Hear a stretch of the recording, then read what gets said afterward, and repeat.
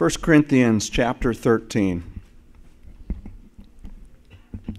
I'm going to start with verse 31 of chapter 12. Earnestly desire the best gifts, and yet I show you a more excellent way. Though I speak with the tongues of men and of angels, but have not love, I have become sounding brass or a clanging cymbal. And though I have prophecy and understand all mysteries and all knowledge, and though I have all faith so that I could remove mountains, but have not love, I'm nothing. And though I bestow all my goods to feed the poor, and though I give my body to be burned, but have not love, it profits me nothing. Love suffers long and is kind. Love does not envy. Love does not parade itself, is not puffed up, does not behave rudely, does not seek its own, is not provoked, thinks no evil does not rejoice in iniquity, but rejoices in the truth, bears all things, believes all things, hopes all things, endures all things. Love never fails. But whether prophecy, they will fail, whether tongues, they will cease, whether knowledge, it will vanish away. For we know in part, and we prophesy in part, but when that which is perfect has come, then that which is in part will be done away. When I was a child, I spoke as a child. I understood as a child. I thought as a child. But when I became a man, I put away childish things. For now, we see in a mirror dimly, but then, face to face. Now I know in part, but then I shall know just as I am also known. Now abide faith, hope, love, these three. But the greatest of these is love. The English language, in any language actually, is quite interesting if, for those of you who may be bilingual or trilingual. Um, First of all, you're probably not an American. You're probably not from the U.S. You're probably from some other country in the world. I used to travel to Germany all the time. Uh, there's a German joke that someone explained to me. What do you call someone who can speak two languages? Bilingual. What do you call someone who can speak three languages? Trilingual. What do you call someone who speaks one language? An American. And that's true. All the years I was traveling to Germany, I probably know about 20 important words, like where's the Flughafen, which is the airport, the flying house, literally. But the thing about one of the things about language is that uh, as you get more and more comfortable with the language, you get to the place where you understand not just the meaning of a word, but the shades of meaning within words. And you learn about how sentences are constructed in order to boost up or to give the meaning to a word. Now, in the way I just said that, you thought, oh my gosh, this is eighth grade English class again. But you do this without even thinking. You've learned it in the way that you hear people talk, in the way that you talk and you communicate, and you use words in a certain way, and you, you surround them with other words to make sure that not just the basic meaning, but the, the, the sense, the very uh, more detailed and spirit of the word is communicated. It's hard to believe that it was actually 15 years ago uh, that uh, Krista and I and Jason uh, got to travel to uh, Israel. And we spent uh, nearly two weeks there. Uh, I forget whether it was 10 days or a full two weeks, but we spent we, we first um, spent our time in Jerusalem, staying at the For Zion's Sake Ministries, and uh, took a couple trips with them. Went with the uh, Calvary Chapel Bible College. I taught a, a class there at the Bible College, and then we went with them up to uh, Caesarea, and along with the Bible College kids, and uh, sat in the uh, not the Coliseum, but the amphitheater uh, that looks out over the Mediterranean there awesome, awesome time. And then we were up in the Galilee. Well, while we were in Jerusalem, uh, for Zion's sake, is kind of south of the old city, and we would uh, work in the morning at For Zion's sake and help in their ministries in any way that we could. And then we kind of took the afternoons and evenings, and we would go up to the old city or to some other place to kind of explore. And it was too far to walk, uh, and the buses were kind of uh, iffy. I'm not sure why we didn't take a bus, but so you took a cab everywhere.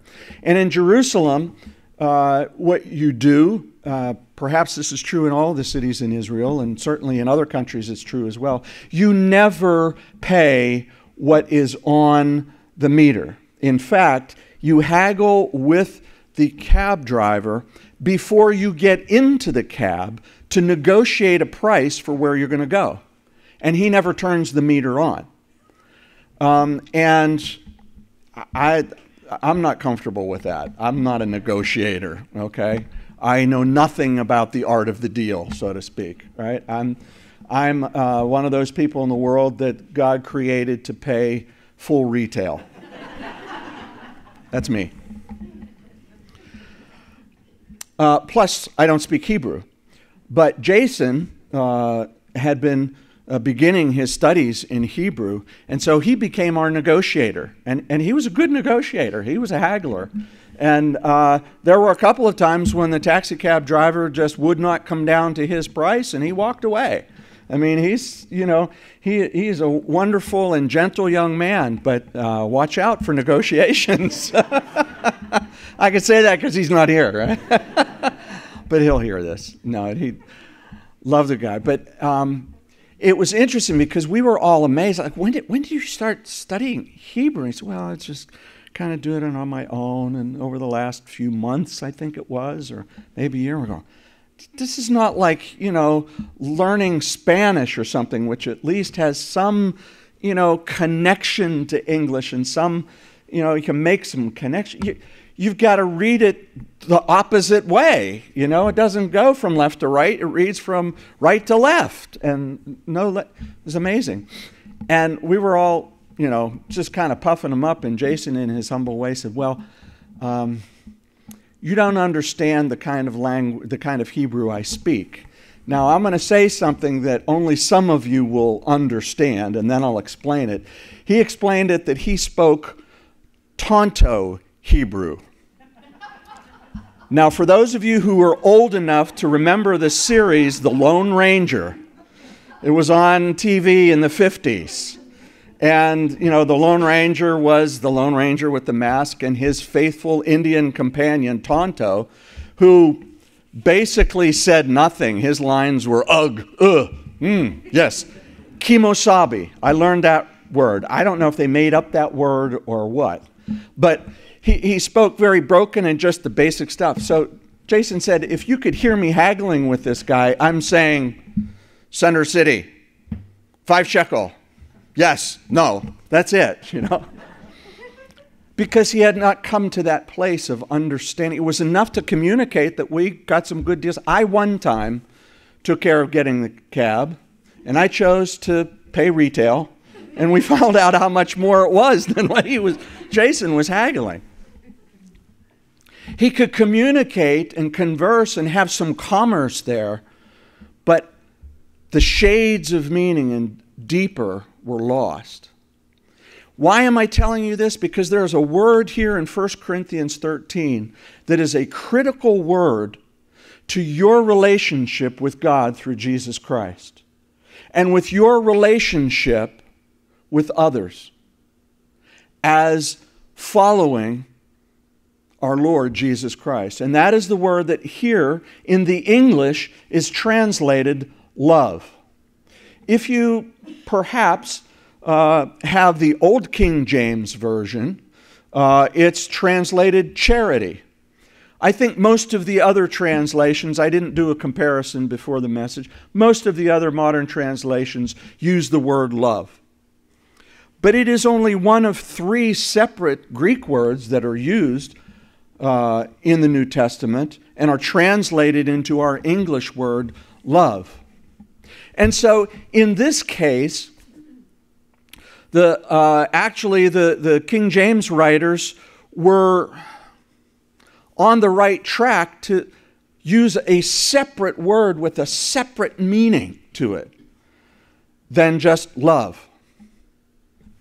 Love in the English language uh, can mean a whole lot of things. I heard Pastor Chuck teach on this uh, particular uh, passage of Scripture, and he said, You know, I can use love in a variety of ways. It can be used to describe my most intimate and powerful and meaningful relationship on this earth, besides the one that I have with my Lord, and that is with my wife, Kay. And I say, I love her. He said, then I can talk about hot fudge sundaes. And I can say, I love hot fudge sundaes. But the meaning of that word, though the same word, is different in those, or it better be, I think is what he actually said. Maybe he could see Kay in the congregation when he said that. But we know it.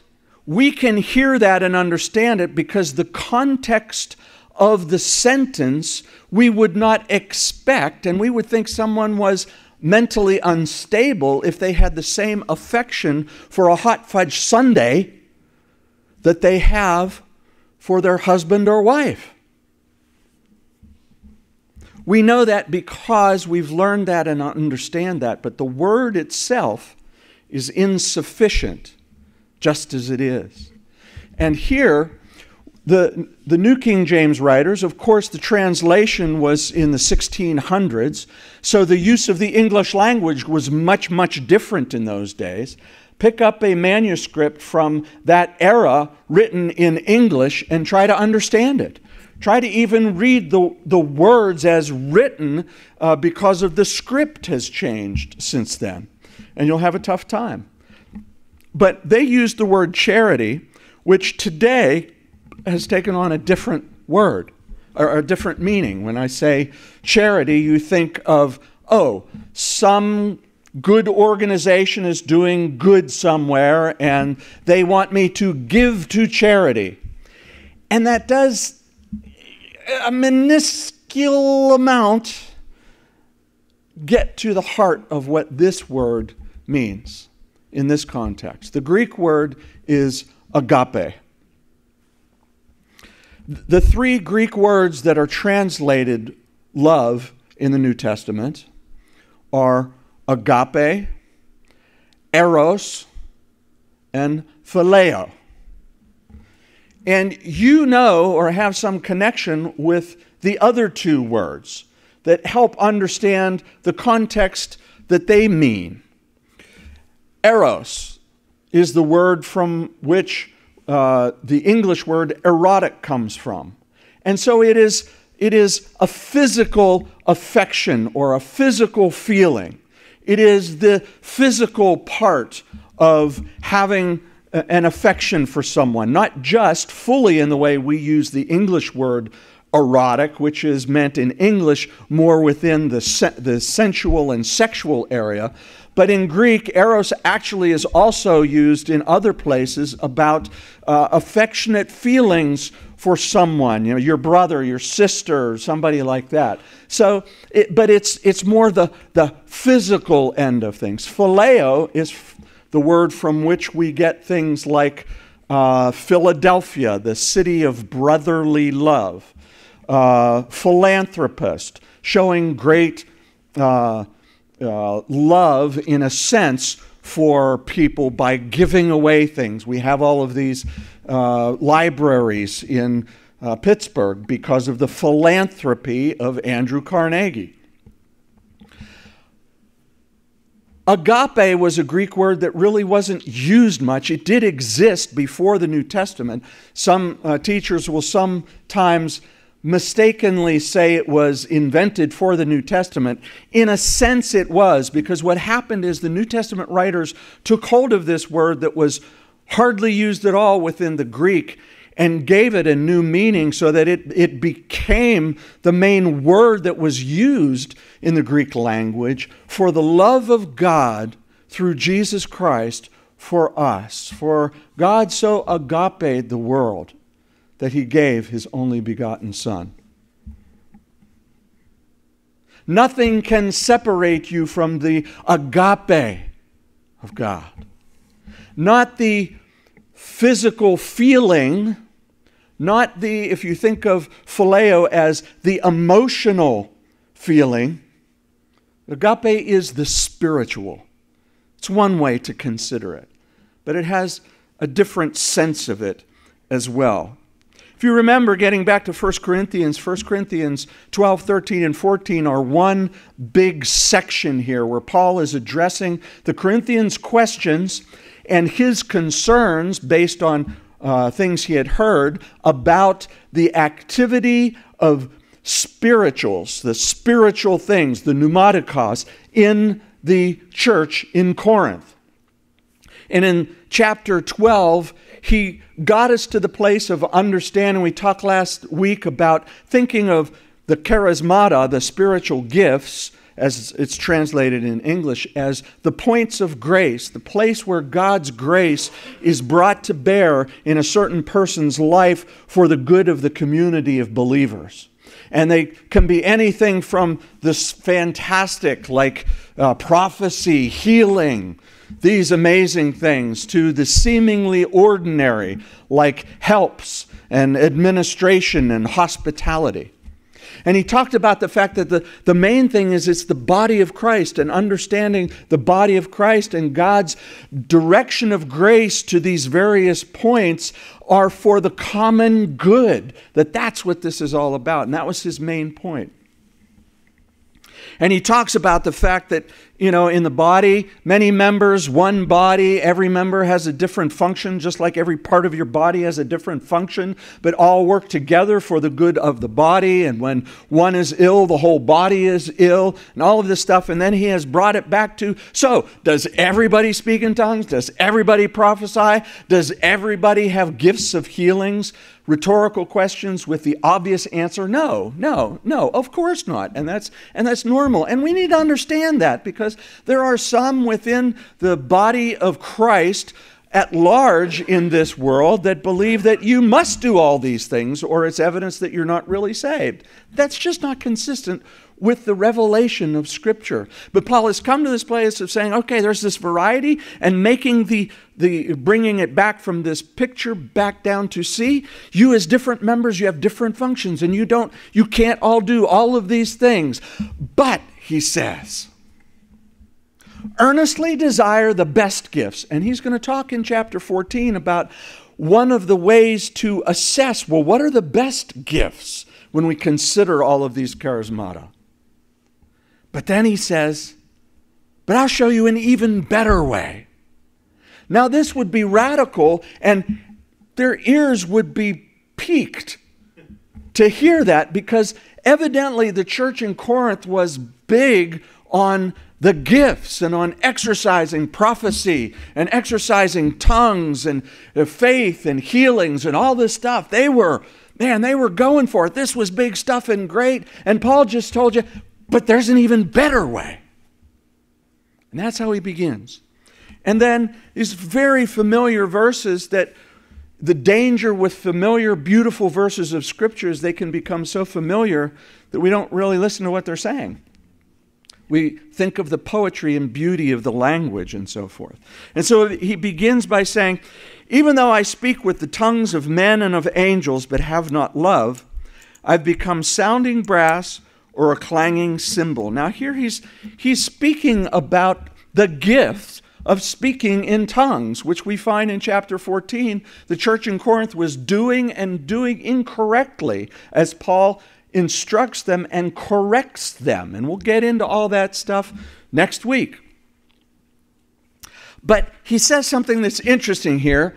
There's, there's no building a doctrine on just four words from the scripture, but there is a sense in the scripture and within the practice of speaking in tongues within the church since the day of Pentecost that there are two, two different ways that speaking in tongues is exercised in the church. And one it was what happened on the day of Pentecost. What the disciples were doing when the rushing mighty wind came and the Spirit of God descended upon them, and they were all filled with the Holy Spirit and spoke with other tongues.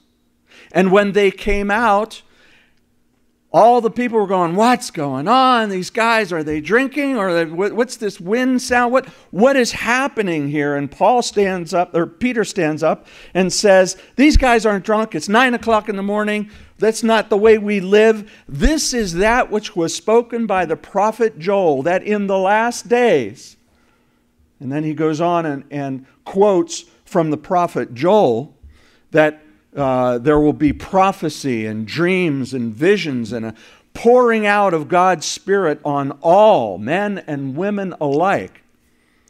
But the testimony there was that all the people, all the pilgrims, the Jewish pilgrims from all over the empire that were in Jerusalem for the Feast of Pentecost, one of the feasts on the Jewish calendar where all were expected if at all possible, to come to Jerusalem to celebrate. And so they're coming from all over, and their languages were different. They said, We hear them speaking the mighty works of God and praising God in our own language.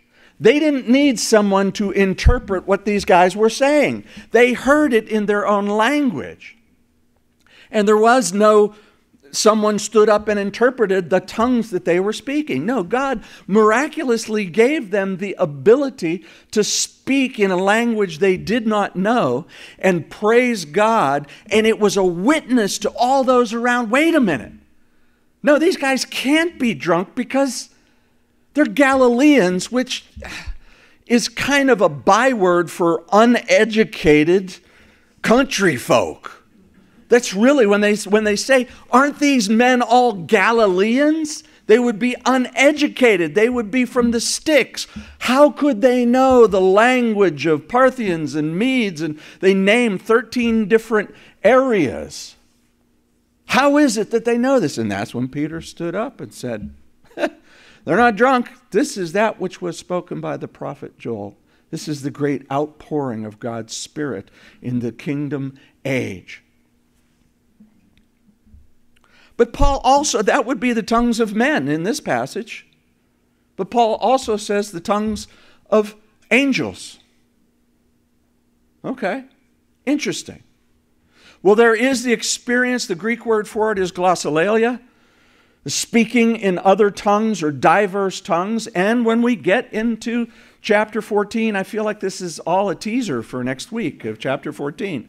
But when we get to chapter 14, we will find Paul talks about the fact of speaking in tongues and interpretation of tongues. And within the community of believers, if someone is standing up and speaking in tongues, they better, there better be somebody there who can interpret it, or it's no good for anybody. And the whole thing of the gifts is it's given to one for the profit of all. So if someone stands up in the midst, and someone, we have some people here, several people here, who can speak more than one language, and someone could stand up and tell us something in another language, and if we don't understand what's said, it's kind of sounded nice, right?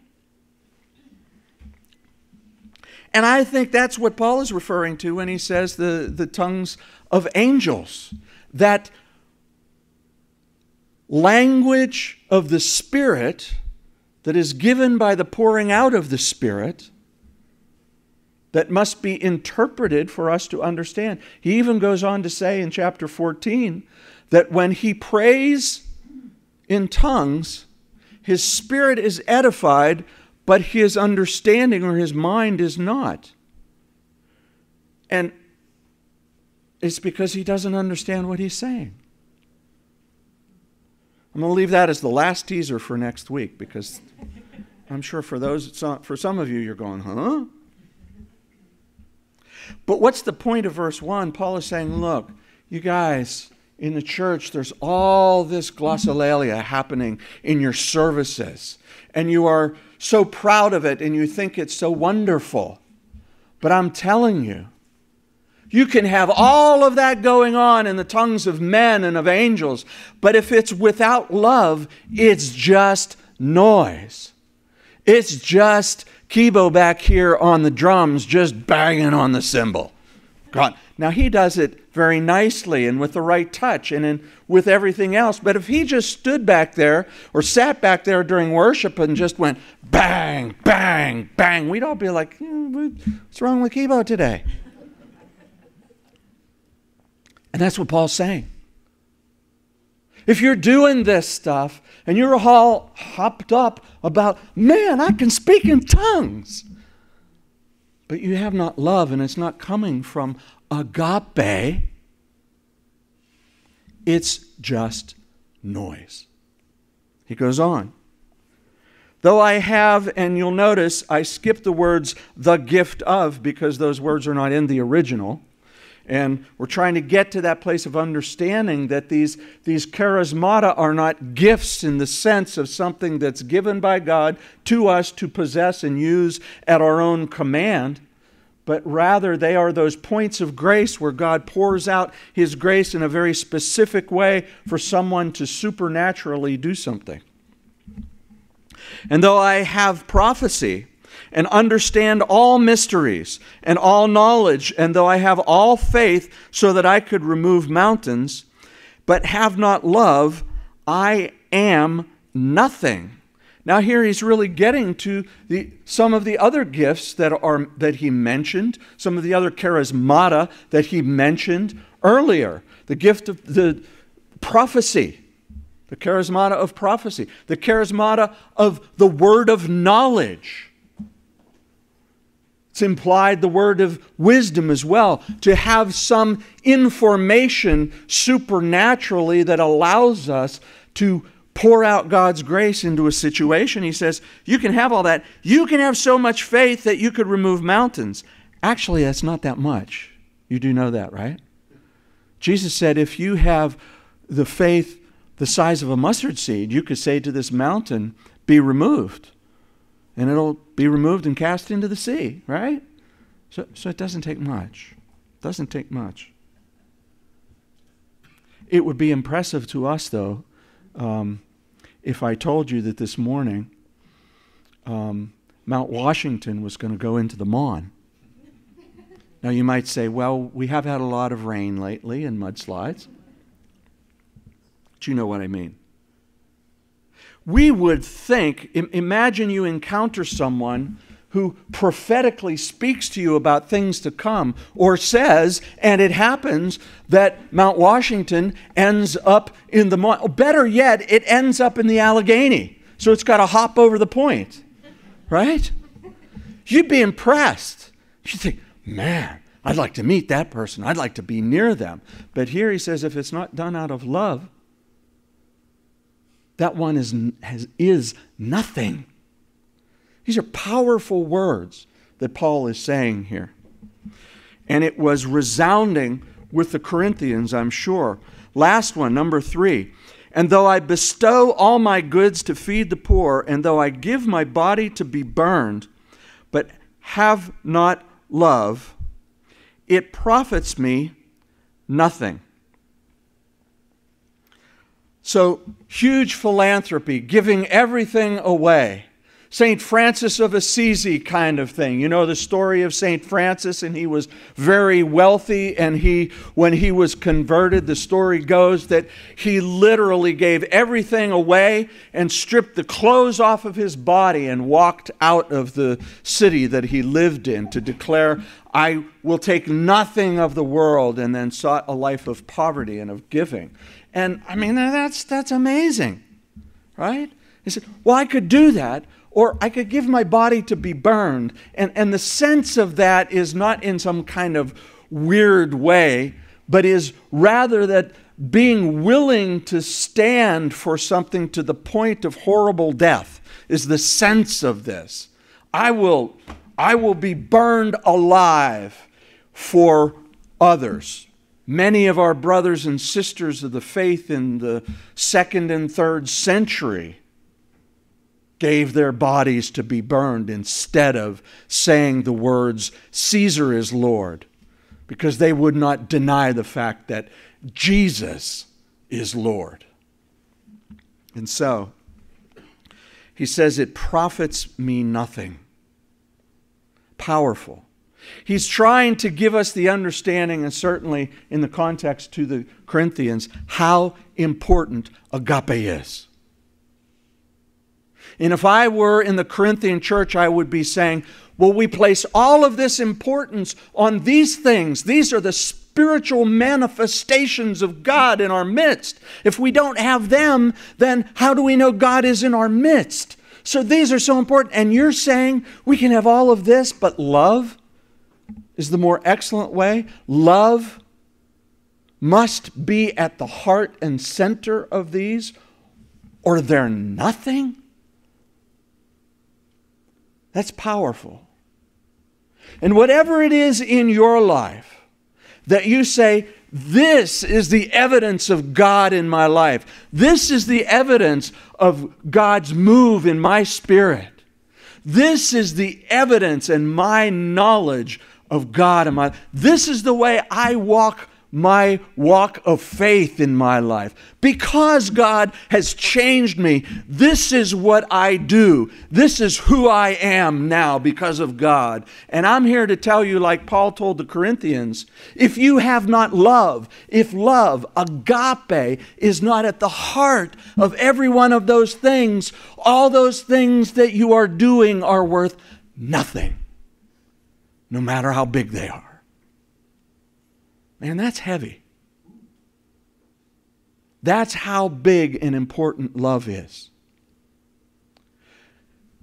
Jesus said that's the way people should be able to recognize that we are his followers. It's by the love that we have for one another. That that's the signature and the sign of a Christian, not our bumper sticker, not our t-shirt, not how many times we attend service not how many wonderful things we do. So the natural question at that point is okay, what is this agape thing? What is this thing that is so different from our other understandings of love that we had to grab hold of a different word in order to use it? And that's what he gets to in verse 4. In verse 4, he identifies love, and I want you to think about the fact that in all of these descriptions, or nearly all of them, of what love is, Paul does not describe feelings, sentiments. He describes activities and attitudes. That's what he describes. And, and that's important to know. When we think of love, when I think of my love for my wife, I think of the way for 39 years I have felt because I've been privileged to be married to that woman. I don't have the same feeling for hot fudge sundaes, but a grilled medium rare New York strip steak. I love that. Got a couple amens. Testify. But those are emotional and physical feelings. It's different. And so the first thing that Paul says is love suffers long and is kind. Uh, other translations have said is patient. Um, but the literal word in the Greek is to suffer long. And it's very important that we put the first two identifiers together. Love suffers long and is kind. It's possible to suffer long in a situation, or more importantly, with a person, but not be kind about it. To not express how wonderful we are to suffer for, with this person. What a great person we are to put up with this situation for so long. Boy, it's hard not to do that because that's at the heart of man's sinful nature pride. I'm such a great person at being humble, you just won't believe it.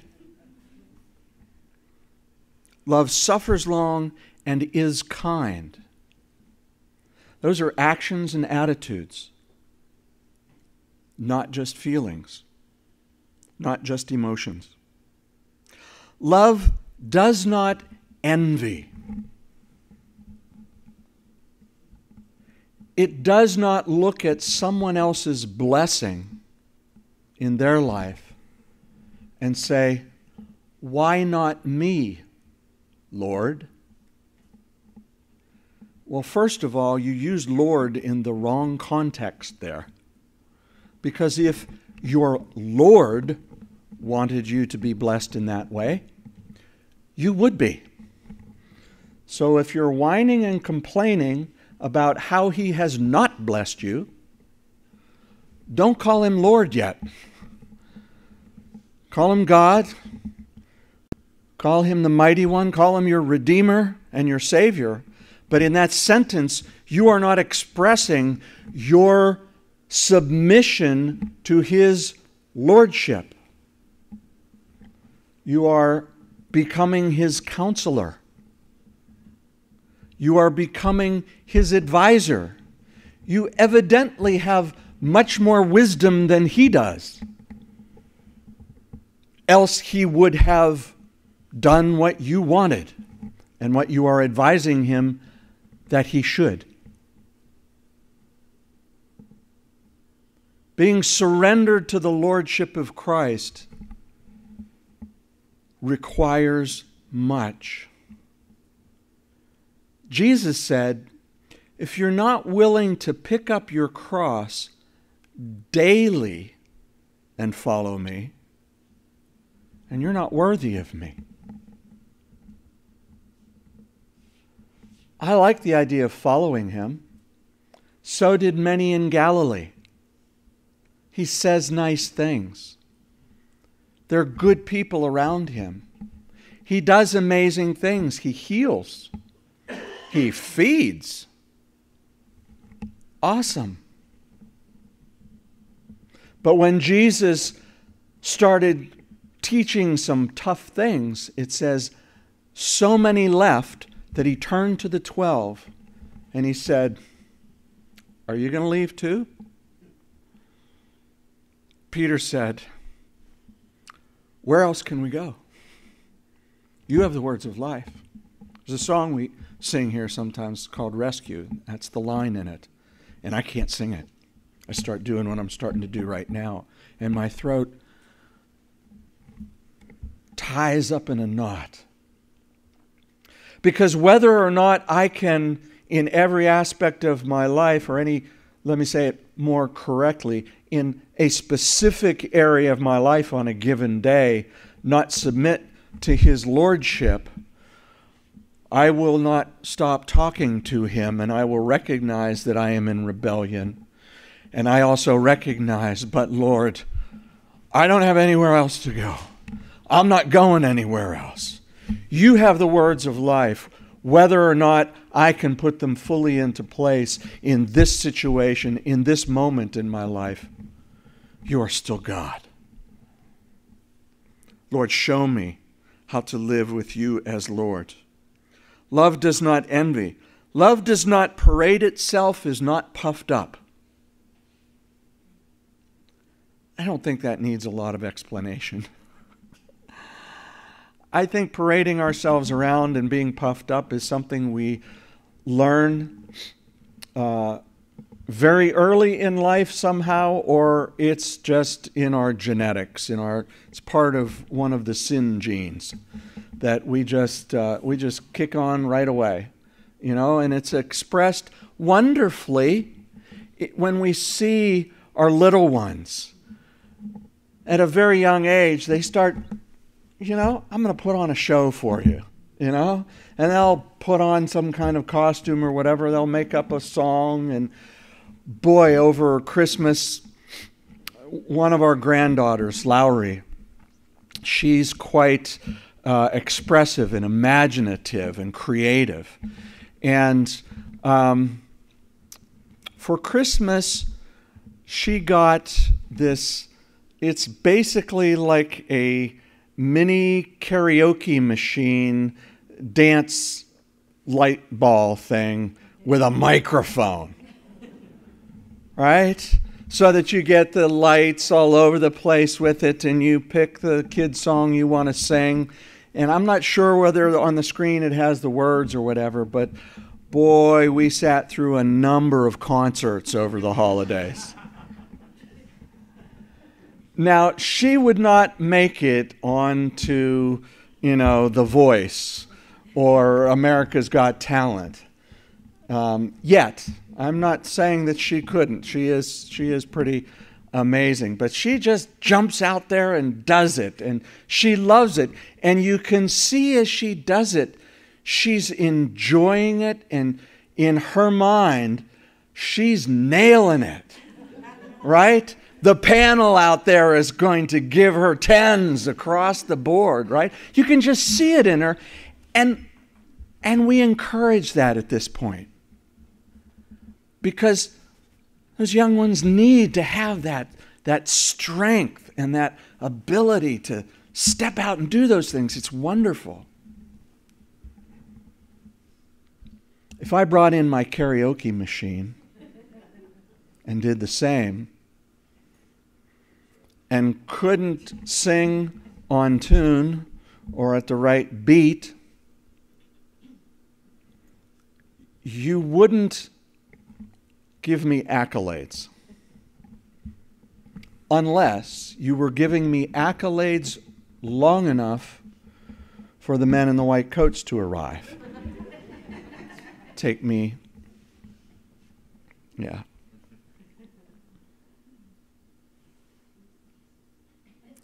But we can sometimes, in our expressions of agape, start puffing up start parading ourselves in our agape. Jesus, in giving us instructions on a practical level on how we should pray or give, says we should do it secretly.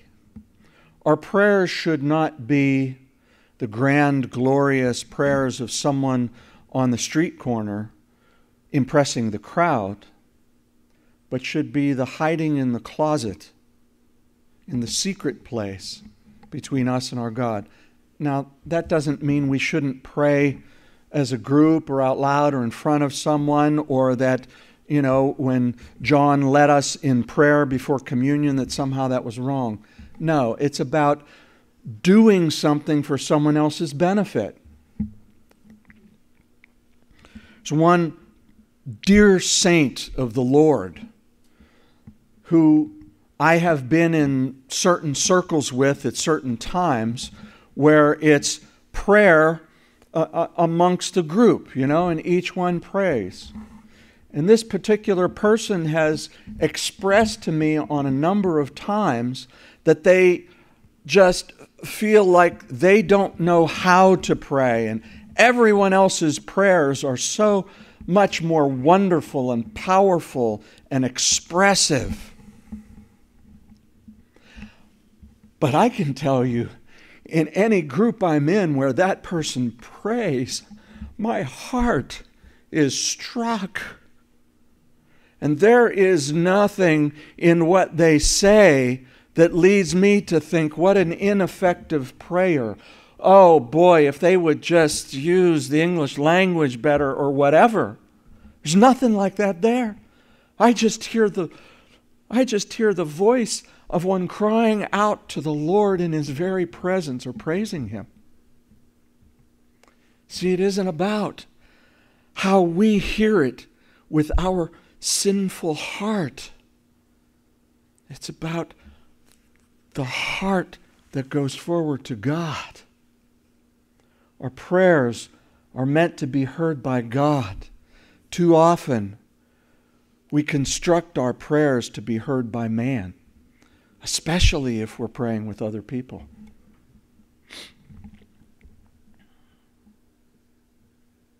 Love does not behave rudely. That word there for rudely is kind of a funny word. In the, in the Old King James, the translation is unseemly. I'll refer back to what Pastor Chuck said, that, and then I'll leave it at that because I don't have anything more to add. He said uh, the translation he used was weird.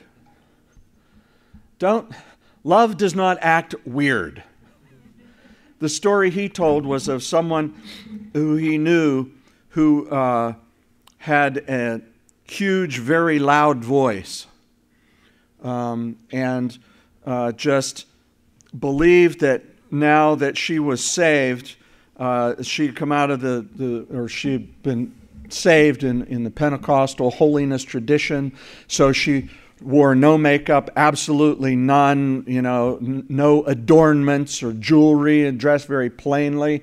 And uh, she, at the time, Pastor Chuck was working while pastoring, and he would take a, a streetcar, he said. Uh, I don't know exactly where he was that had streetcars, but that's what he called it. He would take the streetcar to work.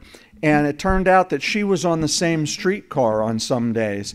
And if she would see him on the streetcar, she would cry out across the, uh, no matter where, how far apart they were when she got on him, Praise God, brother. Good to see you. With all the people in this crowded streetcar.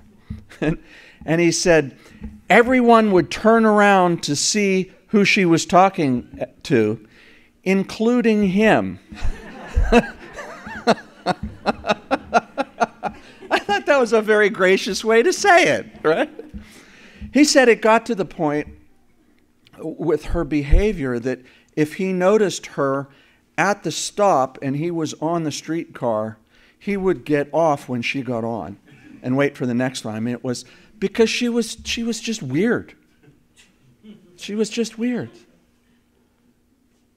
I don't know if he was behaving correctly, but I think all of us can understand where he's coming from and have perhaps encountered similar individuals in our lives. When the scripture says we're called to be a peculiar people, it means individual. It doesn't mean weird. Okay? We aren't called to be weird. We are called to be different than the world. Absolutely. And I would rather see a weird Christian than one that is conforming to the ways of this world and trying to follow the world's pattern in their Christian life. Absolutely. But it's not an either or. There's, there's something else in there. So, love does not behave weirdly, does not seek its own, is not provoked. The old King James used to say, easily provoked. That's not the right translation. It's provoked at all. Seriously? Seriously? Thinks no evil. Does not rejoice in iniquity, but rejoices in the truth. Early in, in my uh, pastoring, I, I, had to deal with a uh, particular group of people and in a particular uh, ministry that um, really, the older that I've gotten, the more I have recognized that um, the signs of Christ likeness in this particular ministry were not there. There were a lot of leaves, but no fruit, so to speak, thinking of the story of Jesus cursing the tree on his way to Jerusalem. And I can remember sitting uh, and, and hearing firsthand, and other times listening to messages on CDs or online, where one of the leaders of this particular ministry was rejoicing in iniquity. They were rejoicing in the judgment or befalling of others. It's not right. We're not called to rejoice in the iniquity of others. We're not called to rejoice in the judgment that God brings on others. It should break our heart because it's breaking God's heart. God so loved the world that he gave his only begotten Son, that whosoever should believeth in him should not perish, but have everlasting life. For the Son did not come into the world to condemn the world, to bring the judgment of condemnation on the world, but that the world through him might be saved. And that's the same calling we are to have on our lives. Oh boy, we got to warn people and we sometimes can see it coming before they or sometimes others will of God's correction. Or for those who are outside of the kingdom, God's judgment. But we should not rejoice in it.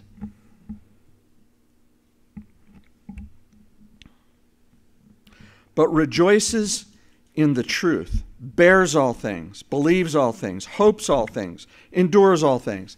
Uh, this doesn't mean we're supposed to be mindless and not use our mind. This is, this is supposed to, it's not all things as in genuinely every single thing that ever happens, hope in that. No, no. But in all things in your life, in all things that you encounter, you want to live in agape? will bear with all things. Because nothing comes into your life unless it is Father filtered. Believes all things. In the face of the opposite, we believe in Him and in His Word.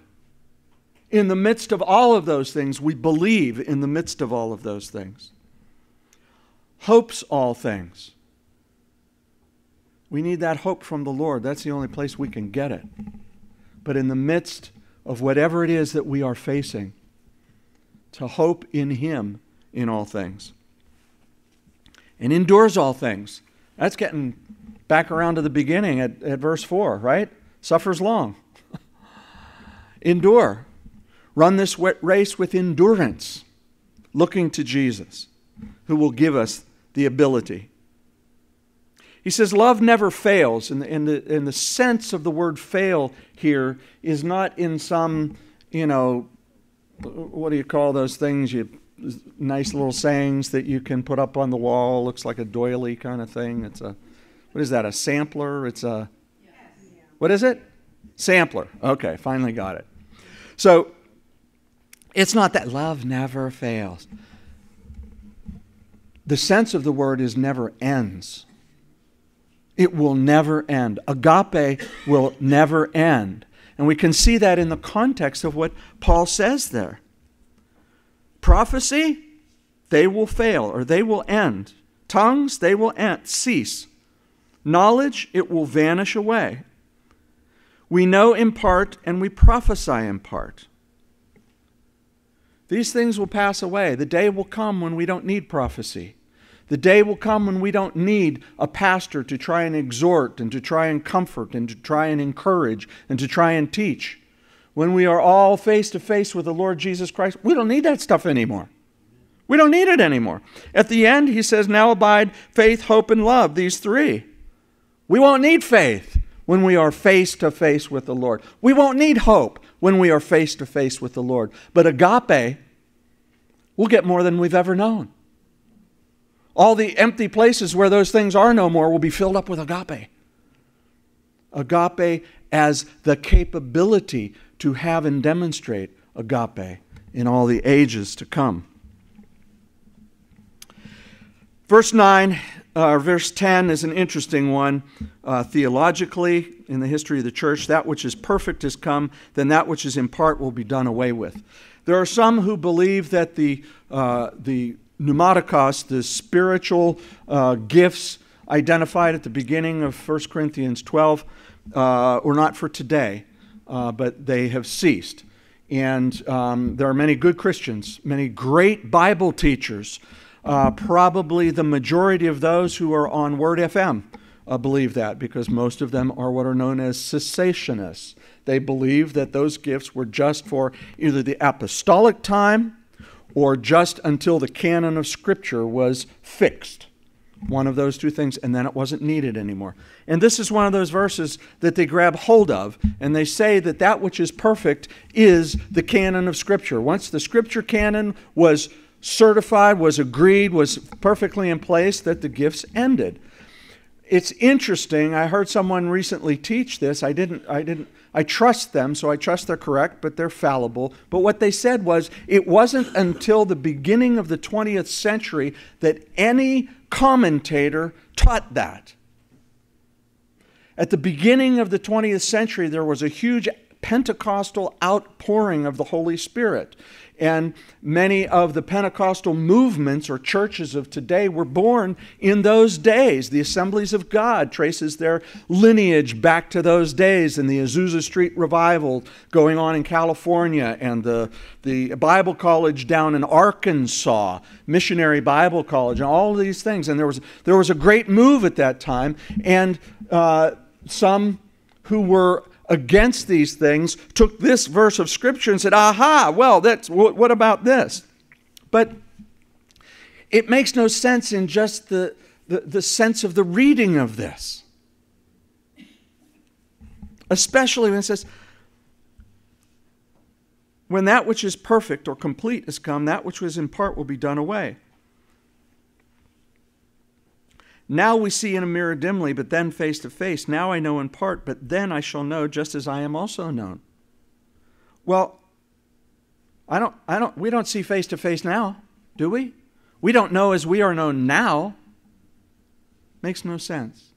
But I simply go back to the day of Pentecost when Peter said, The gift of the Holy Spirit is for you and your children and their children and all who are afar off, as many as the Lord our God will call. Okay. That, that's enough for me, along with everything else. What he's saying is when the Lord comes again and we move into the next ages and the kingdom of God, then we don't need this stuff anymore. We don't need this stuff anymore. Even, even these the, the prophecies and the teachings and the wonderful revelations and stuff, they're just a glimpse. He says, we we we where, where is it? We we know in part, uh, and we prophesy in part. And uh, verse twelve. Now we see in a mirror dimly. Interesting little historical fact right here. There were not mirrors in the day that Paul spoke, there were not pieces of glass with uh, uh, dark paint on the back that creates a mirror with silver and you know how mirrors are made and so forth, right? Instead, they used highly polished metals, which of course they did not have the polishing capabilities that we have today with all the machinery. And so imagine using as your mirror in the morning a nice, you know, aluminum pan and getting yourself ready for church like that, right?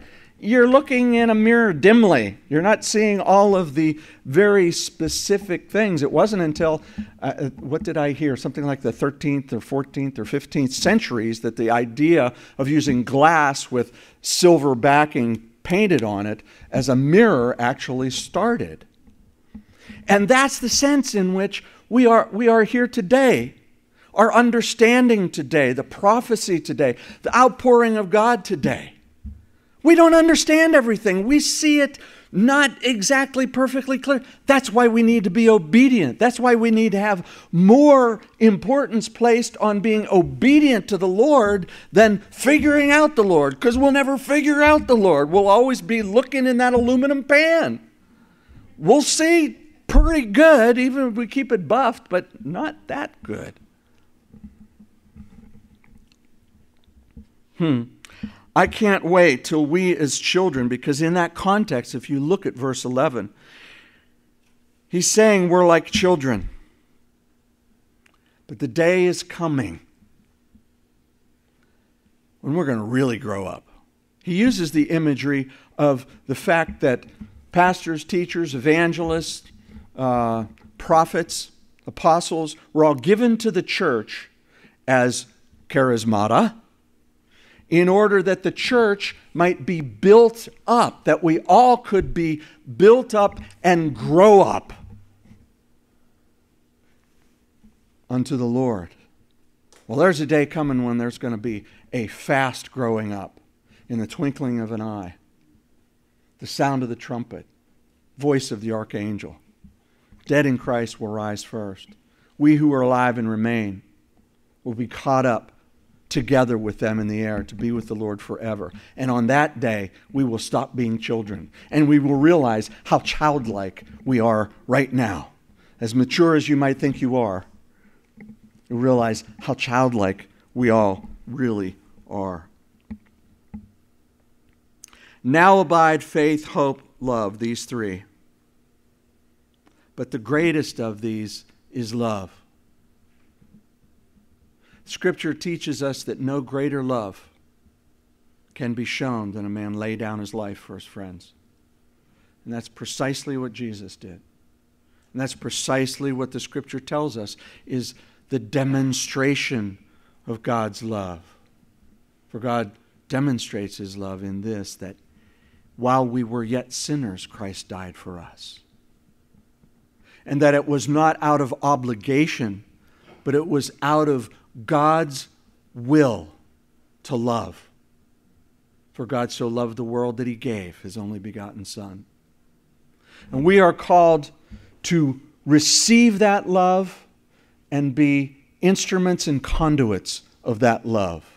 And it is God's grace, it's a point of grace, God's grace being poured out in us and through us that we can love, that we can approach this agape, and that we can be instruments and conduits of agape to others. That's what we're called to. That's what this Christian life is all about.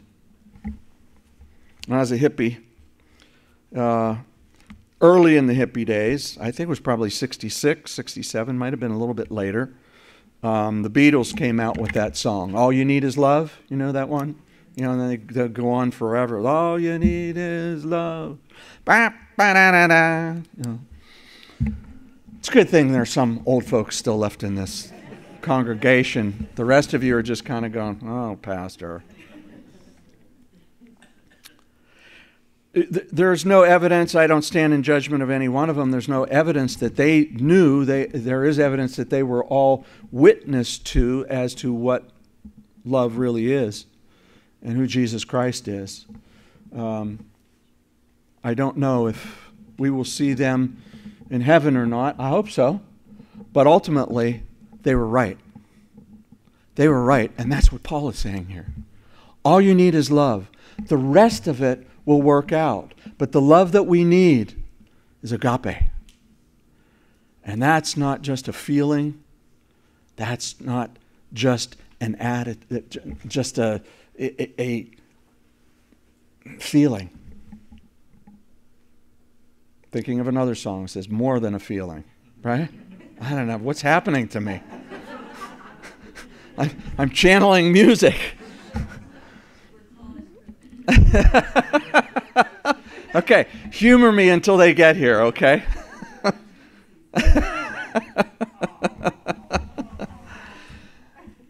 it, is, it is all that we need, and it is what we need. We don't need all the other things. Jesus said it like this Seek first the kingdom of God and his righteousness, and all these other things will be added. And not to correct Jesus speaking, but I would say it's just as true to say seek first to love like your Father does, your Heavenly Father. and all these other things will fall into place. Let's pray. Father, I thank you for your love, for you have poured out that love upon us in a way we could not have imagined, in a way that we do not deserve, that we not only did not, but that we cannot earn. So, Lord, we stand in grace that you have poured out and provided through the cross and through the empty tomb. And we stand here in this grace as children, longing and yearning to grow up into you. So, Lord, I pray that you would look down upon your children this morning and that you would help us to understand that, like Paul said, it doesn't matter what we say, it doesn't matter what we, what we do to prove how great we are. What is important is your agape spread abroad within our hearts and shining forth through us to the world around us. Lord, help us to follow those two great commandments that we love the Lord God Almighty with all our heart, soul, mind, and strength, and that we love our neighbor as ourself. And Lord, you will set all the other things in place, in their rightful place. And now may the Lord God Almighty richly bless and keep you. May he make his face shine upon you, grant you peace. May he lift up his countenance upon you, be gracious unto you, each and every day of your life, through Jesus Christ, who is our Lord and our Savior and our soon coming King. Amen and amen. God bless y'all.